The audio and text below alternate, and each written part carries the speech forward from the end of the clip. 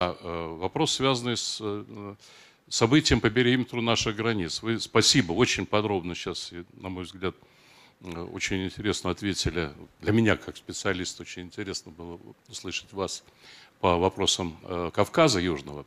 Но в целом по периметру наших границ ведь происходят такие, я бы сказал, драматические события. Но вот, положим, события в Киргизии, там всегда вокруг выборов происходили всякого рода волнения. Но в этом году они вообще по какому-то очень жесткому сценарию проходили. Мы э, смотрим, что не, не просто складывается ситуация и в Белоруссии, но сохраняется проблема Донбасса. Я понимаю, что об этом уже, может быть, и устали говорить. Мы знаем вашу позицию твердую по этому, последовательную по этому вопросу. Но у меня в целом такой вопрос. Как вот сегодня видятся наши такие принципиальные основные э, цели политики на постсоветском пространстве. С учетом того, что это, конечно, касается непосредственно и нашей безопасности, и наших гуманитарных связей. Вы подчеркивали сегодня не раз, что, в общем, это люди-то для нас не чужие, говоря о Кавказе, но это касается и э, наших друзей из Центральной Азии, друзей из Беларуси, Украины. Спасибо.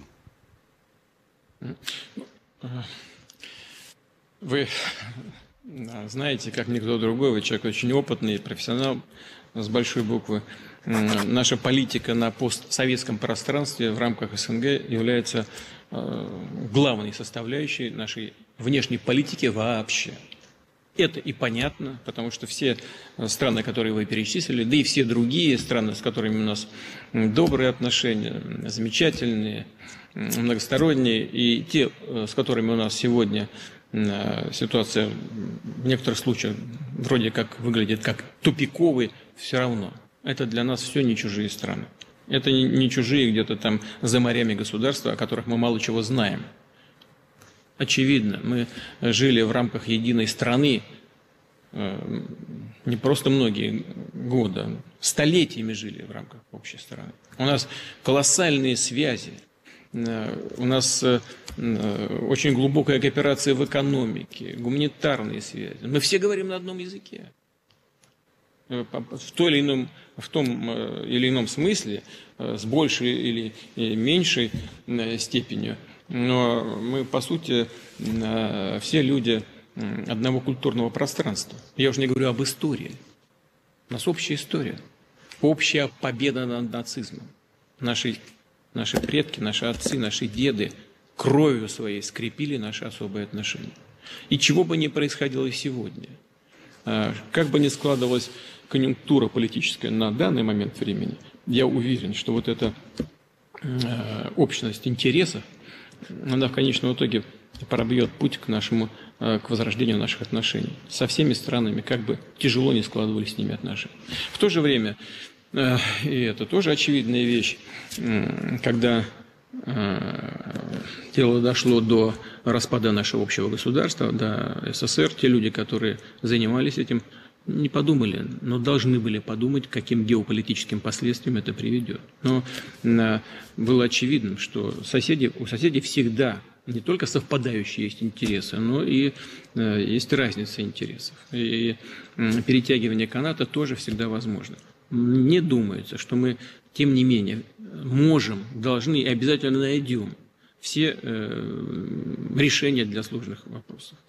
Надо, не надо только ничего э, нагнетать, преувеличивать и делать упор на, те вопросы, э, которые э, являются спорными, а нужно, наоборот, смотреть на то, что нас может и должно объединять. И объединяет. А что? Общие интересы. Вот смотрите, в области экономической интеграции кто не заинтересован в том, чтобы мы экономически интегрировались? Только наши конкуренты. А все страны постсоветского пространства не могут не понимать, во всяком случае умные люди не могут не понимать, что объединение усилий при использовании общей инфраструктуры, общего транспорта, энергетической системы и так далее, общего языка, который нас не разделяет и объединяет, и так далее, и так далее, и так далее. Это ярко выраженные конкурентные преимущества, за приобретение которых в некоторых экономических объединениях и структурах борются десятилетиями. А у нас это все Все нам дано нашими предками. Надо этим пользоваться. И это выгодно для всех нас. Это абсолютно точно, это просто выгодно. И вот это, ну, смотрите, на, на Украине, четвертый год, значит, одна революция, четырнадцатый год, другая революция, э, переворот государственный. Результат. Посчитайте статистику э, самих украинских служб, статистических. Падение производства, как будто у них ни одна пандемия там уже прошла. В некоторые отрасли производства, которыми гордился весь Советский Союз и сама Украина – авиастроение, самол... Э, значит, э, судостроение, ракетостроение. Это то, чем, что создавалось поколениями граждан Советского Союза всеми республиками. И чем, конечно, могла и должна была гордиться Украина. Этого почти ничего не существует. Происходит э, деиндустриализация Украины. Она была, наверное, не одной из, а может быть даже самой индустриальной республикой. Ну, Российская Федерация, конечно, Москва, Петербург, Сибирь, там, э, Урал, все понятно. Но одной из самых индустриальных республик. Где это все теперь? И зачем это утрачено? Это, это просто глупость тех, кто это сделал. Просто глупость и все. А, ну, я надеюсь, что вот эти общие интересы, они все-таки пробьют дорогу здравому смыслу. А, Беларуси, вы сейчас упомянули. Да, там мы видели эти турбулентные процессы. Э, но вот на что хотел бы обратить внимание? На то, что, как вы заметили, ведь Россия не вмешивалась в то, что там происходило. Не вмешивалась. Мы рассчитываем, что и никто не будет вмешиваться. Никто не будет раскручивать в своих интересах э, этот конфликт и, и навязывать какие-то решения белорусскому народу я уже говорил в вступительном слове, ничего привнесенное извне внутри той или иной структуры, того или иного народа, того или иного этноса работать не будет без э, учета специфики, культуры, э, истории народа и так далее. Поэтому нужно дать э, возможность самим белорусам спокойно разобраться со всей ситуацией, принять соответствующие решения, в том числе и может быть, э, эти решения лежат на пути принятия поправок в действующую Конституцию, либо принятия новой Конституции. Президент Лукашенко об этом сказал публично. Да, можно сказать, ну, сейчас он там что-нибудь напишет себе на, на пользу, и, э, все это ничего не имеет общего с демократией. Но, вы знаете, все можно ведь э, оболгать. На все можно посмотреть скептически. Я уже вот говорил, ну, э, ну ладно, не буду уже, так, чтобы не вдаваться в детали. Но то, что происходило в Беларуси, э, выгодно отличается от того, что происходило на улицах некоторых крупных городов э, развитых демократий. Понимаете? Да, и, и жесткость была, и все. А может быть, даже неоправданная. Ну, тогда пусть ответят те, кто это допустил. Но в целом, если сравнивать и посмотреть на картинки, во всяком случае, безоружному человеку в спину никто не стрелял из боевого оружия. Э, вот, вот я о чем. Поэтому давайте спокойненько с этим нужно разбираться. Э, то же самое э, с Киргизией, скажем. Ну, это, мне кажется, то, что там происходит, это беда. Беда Киргизии и киргизского народа. Ну, как выбором, так переворот. О чем это говорит? Вы знаете, это даже, ну, даже не смешно. Вы знаете, о чем это говорит? Это говорит о том, что к... Ну, ведь это как... Во многих этих странах они же первые шаги делают на пути к собственной государственности, к оформлению этой государственности, к формированию культуры э, государственного развития. А, вот э, я уже много раз говорил своим коллегам, вот э, ко всем нашим постсоветским странам нужно относиться с особым вниманием и очень осторожно поддерживать э, вот эти ростки государственности. Ни в коем случае, случае не вмешиваться со стороны, с какими-то советами и с э, рекомендациями, а тем более с, избежать, избегать всякого вмешательства потому что это разрушает хрупкие только нарождающиеся институты суверенитета и государственности в этих странах. Надо дать возможность людям самим аккуратно строить это отношение внутри общества.